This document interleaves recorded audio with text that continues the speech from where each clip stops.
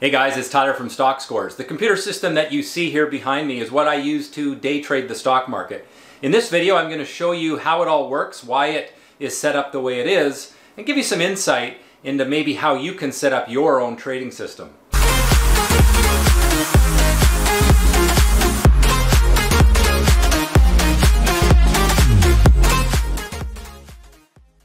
Alright, so before we get started on this video about my computer system, a reminder that we have upcoming events on the StockScores.com website.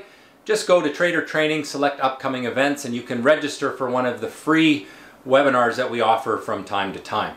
Alright, let's get into the computer system that I have and, and why I have set it up this way. Let me begin with just a reference to another recent video that I did uh, which you can see on the StockScores.com YouTube channel. And it's all about the unboxing of the new computer system that I bought about a week ago. That computer system was bought from EZTrading Computers. I highly recommend them. They were uh, great in dealing with. They provided great service. The computer was shipped out real fast and it's the kind of system that I wanted, uh, really designed for day trading. My approach to the market is primarily to be fairly active. I'm a day trader, swing trader. I use this system for a lot of different trading, but the primary focus for how I set up the computer was for day trading. Now you see a lot of screens in behind me. There's actually two computers running and they actually run together and I'll explain a little bit more about how I did that in a moment. Let's first begin with the configuration of the new computer that I bought and I'll, I'll link in the description the actual specs of that computer and there's also a, a handy uh, research guide on how to buy a trading computer that was provided by EZTrading Computers. You can check that out. Pretty insightful uh, information on, on how to configure the computer based on your needs. So my needs really cater to the fact that I use TradeStation. I wanted a computer that was fast. I monitor a lot of symbols. I try to max out the number of symbols that I can monitor with TradeStation. And so I needed a computer that was quick. Now, TradeStation only allows for the use of 16 cores. So if you, you know, nowadays you can go out and buy machines that have 12, 14 cores, perhaps even more. You don't need that for uh, day trading with TradeStation. And so I maxed my system out at 8 cores, which is the equivalent of 16 because of uh, the multi um, nature of those chips. So my computer, 8 core machine, it's an Intel i7 79, or pardon me, 7820 uh, chip. It has uh, liquid cooling, a uh, 32 gigs of RAM, uh, and most importantly, I would say a solid state drive. It is what's called a M.2 PCI Express drive. What that means is it's the fastest memory uh, available for that, that access of your trading data. When you are um, using a hard drive, for example, one that spins, the access to the market data is slow, so it takes longer for your trading software to calculate the indicators. And so it was important to me to have that solid state drive. Uh, both my old trading computer and my new one have it. My old one has an older generation of a solid state drive. This new M.2 um, type is much faster and it really makes a difference when you're pulling in a lot of market data to calculate the indicators quickly. And that's important for me because I monitor a lot of symbols. Now the monitors that you see, I've got two 40 inch Philips uh, 4K screens. Just a quick thought about 4K screens. When you have a 4K screen, essentially it's four times as many pixels as a HD screen. So when you go into your computer store, most of the screens there are going to be high definition. Some are UHD, a little wider perhaps. But a 4K screen is the equivalent of four HD screens. So in the past, I used eight HD screens on stands now I get the same amount of viewing space from two 4K monitors. And so it makes it a lot more efficient. It's a lot nicer to move around on a screen that doesn't have the lines in it from the, you know, the four, four individual screens, obviously having some separation. And so it's a nice uh, thing to look at. Now another thing that I want to emphasize is the video card. When I first got this computer, it had a NVIDIA 1050 video card, and we were having some trouble with it not being able to power my two 4K screens at 60 hertz, which is the refresh rate. It would only do one of them at 30 hertz. And it wasn't really the problem of the, the video card, but was the fact that it didn't have enough display port outputs because these particular screens need a display port input in order to run at 60 hertz. So um, EZTrading Computers, where I bought the machine, they were great. They said, well, we'll swap out that card. I sent the old one back. They sent me a new one. They actually sent me the new one first, and I'm going to send the old one back today. And as soon as I got that new video card installed, solved that problem, I'm now able to watch those two 4K screens at 60 hertz. In addition to the two HD screens that you see over there, the smaller ones are also at 60 hertz refresh rate.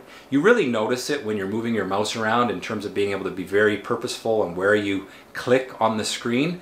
It's a lot easier with that 60 hertz refresh rate. The other thing that I really notice is the blacks are deeper. It's a lot nicer screen to look at when you can get that 60 hertz refresh rate.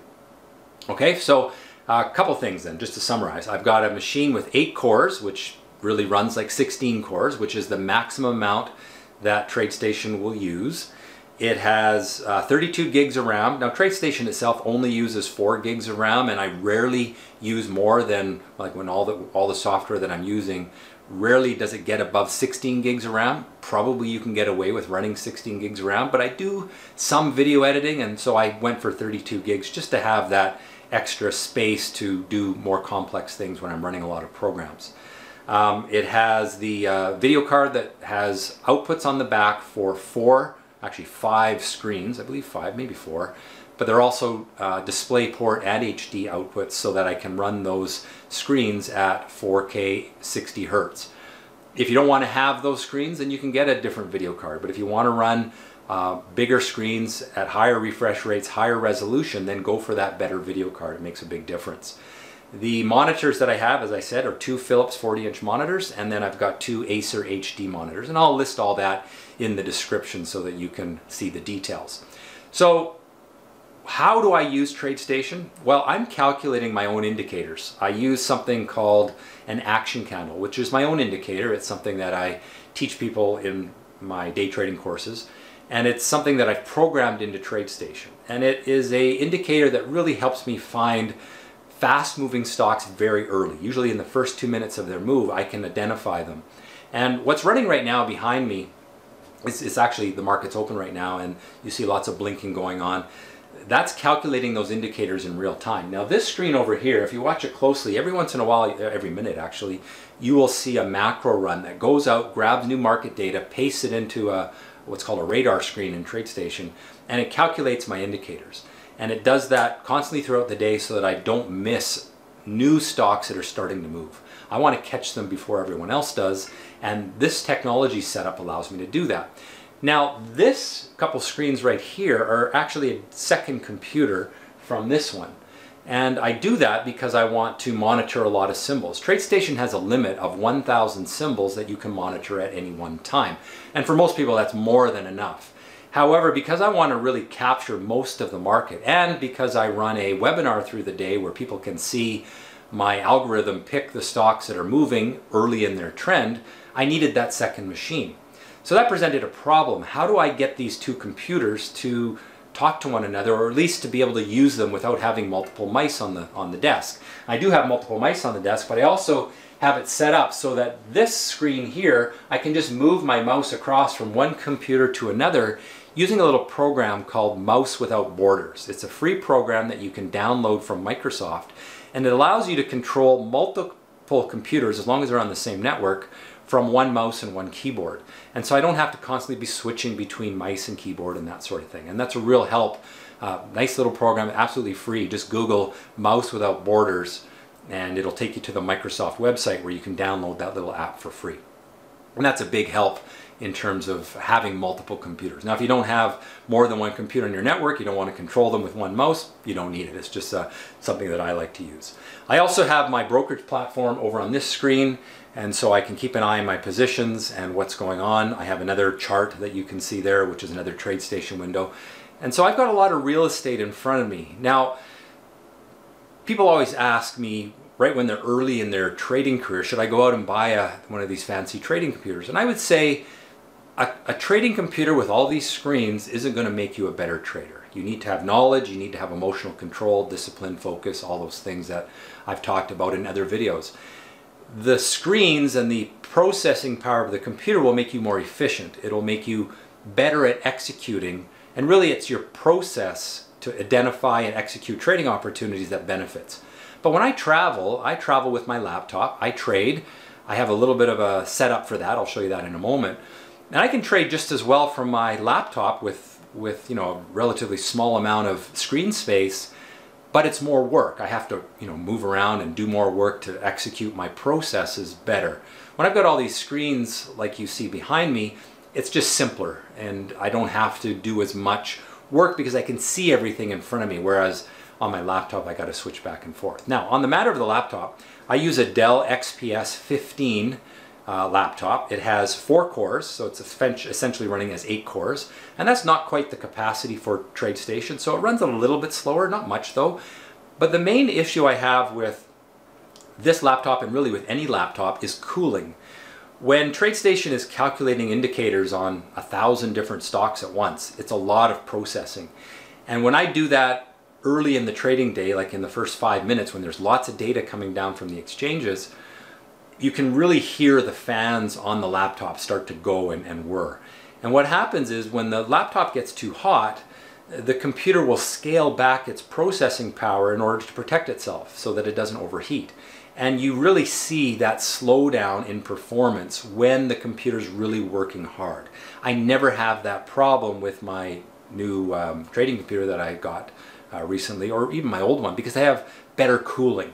Now my old computer, you might be able to hear a little bit of noise in the background. That's the fan noise from the old machine. It's just fans. The new machine has liquid cooling in addition to some fans and it's super quiet and I really like that.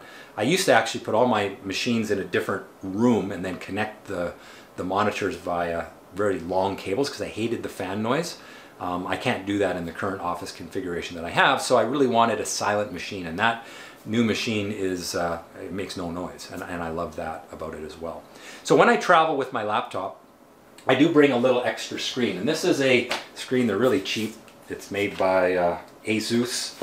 There you see it. It's just a portable. It's super thin, fits in my uh, briefcase, and it connects to my um, to my laptop by a USB cable, charges it that way. You don't have to have power cables or anything else installed.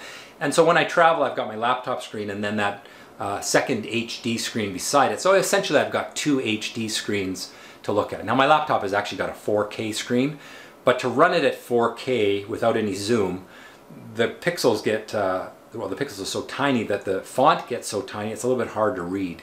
And so I don't run it at 4K in, well, I do, I guess, but it's, it's zoomed in so that it looks bigger. And it's essentially running like an HD screen in addition to that second HD screen that I have. Now, one of the nice things about that Dell laptop that I got is it's, a, it's possible to get a docking station that will run two 4K monitors off of the docking station as well.